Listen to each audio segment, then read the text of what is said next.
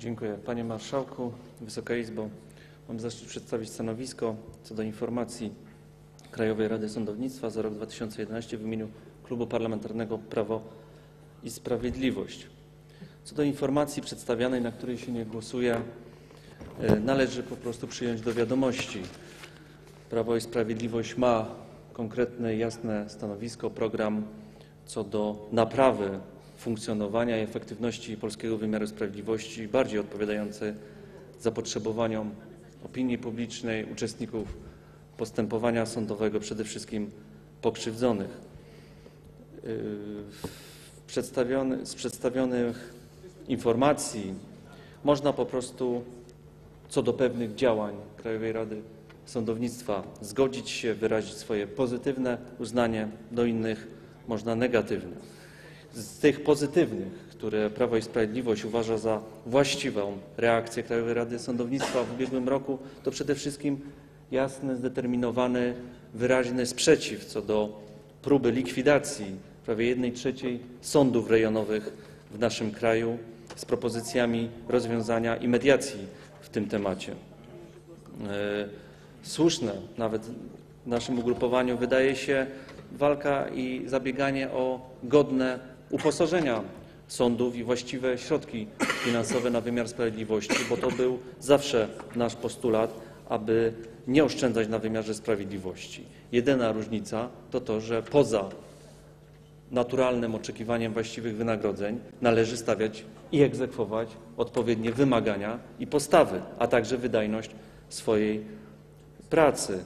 Y, Korzystnie można też odnieść się do kilku stanowisk Krajowej Rady Sądownictwa mm, w procesie legislacyjnym, jak choćby y, wskazywanie, że lepszy y, byłoby zapewnianie zawsze urzędu obrońcy w sprawach nieletnich jako osoby, która e, miałaby e, reprezentować zawsze korzystne rozwiązania niż pełnomocnik, a także e, zgadzamy się z krytycznym stanowiskiem co do e, funkcjonowania obecnej procedury aplikacyjnej jako długiej, skomplikowanej, nie zawsze dostępnej dla e, wszystkich chętnych.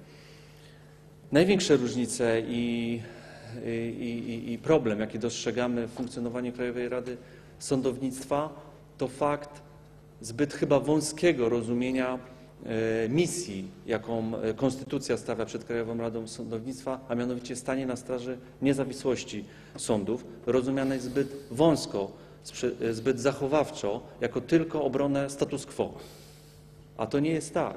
Tu zgodziłbym się z poprzednikiem na tej mównicy, że należałoby też bardzo pilnować, czy ta niezawisłość jest respektowana poprzez właściwe, transparentne zachowania e, klasy sędziowskiej w naszym kraju i poprzez e, e, stymulowanie oczyszczania się z niekorzystnych, e, naruszających dobry wizerunek wymiaru sprawiedliwości w Polsce przypadków zachowań, na szczęście bardzo nielicznych, ale jednak występujących przypadków. Z tym też jest związany brak informacji, ile mamy w kraju przypadków grania tak zwanego na czas w postępowaniu dyscyplinarnym wewnątrz środowiska sędziowskiego, czekania aż się sprawy przedawnią, żeby mogły one być analizowane przez mm, procedurę postępowania dyscyplinarnego e, w ramach e, środowiska.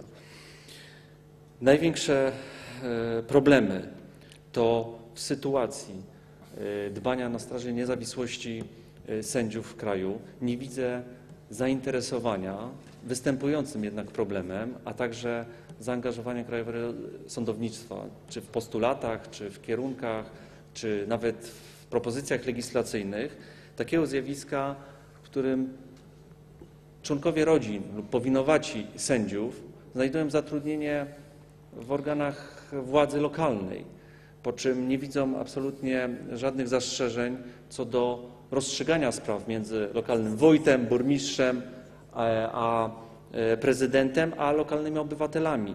N- Nie ma e, według tych osób e, dużych zastrzeżeń co do wyłączania się z tych spraw, a wydaje mi się, że dla przejrzystości warto by było.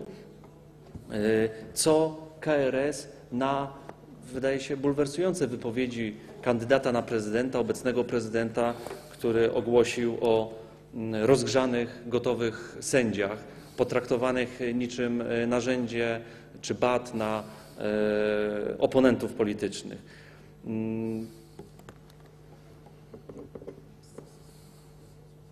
Nie ma też reakcji Krajowej Rady Sądownictwa na bulwersujący przypadek pani sędzi z Poznania, która została skazana prawomocnym wyrokiem sądu, e, chociaż też e, uzasadnienie orzeczenia dość e, kuriozalne o nieumyślnym wyłudzaniu, a, a jednocześnie po przenoszeniu do od, e, sądu łódzkiego dalej e, sprawuje swoją funkcję e, i, i, orzeka. Co y, z aferą Amber. I to nie chodzi o dzisiejsze wydarzenia, o dzisiejsze afery, ale przecież o całe nagromadzone orzecznictwo, nieegzekwowane y, przez poprzednie lata, nieegzekwowane sprawozdania finansowe y, w tej sprawie, które nie tylko w, y, w tej firmie, ale w wielu innych miejscach w Polsce są realizowane. Szanowni Panie Marszałku, Wysoka Izbo, przyjmujemy do wiadomości to sprawozdanie. Wnosimy mimo wszystko do członków Krajowej Rady Sądownictwa o szersze rozumienie swojej mis- misji. Dziękuję bardzo. Dziękuję.